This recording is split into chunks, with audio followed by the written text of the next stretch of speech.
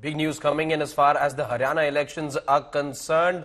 Bajrang Punia has now gotten a position at the at one of the key organizations within the Congress party. Uh, He gets the organizational post in Congress, his first post after joining, in fact, being given to him hours after he joined the party. He's now the chief of the all of, of the Congress Kisan Committee.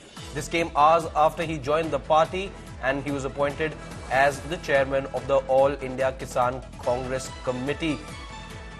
The announcement was uh, made by Congress General Secretary K.C. Venugopal and uh, in his first statements after being given the post, Bajrang Punia sided with the farmers, said that he's going to fight for their cause and uh, he is going to be a part of their struggle as well.